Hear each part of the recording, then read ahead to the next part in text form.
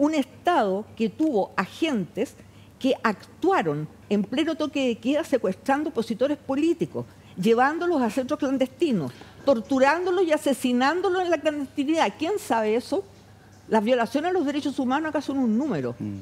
Eso debería enseñarse en los colegios y sobre todo en las escuelas matrices de las Fuerzas Armadas.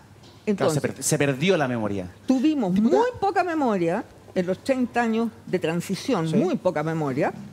Tuvimos verdad poca, como dije, no es sociabilizada, por lo tanto, la verdad histórica es complicado instalarla. Y justicia, por favor, en la medida de lo posible.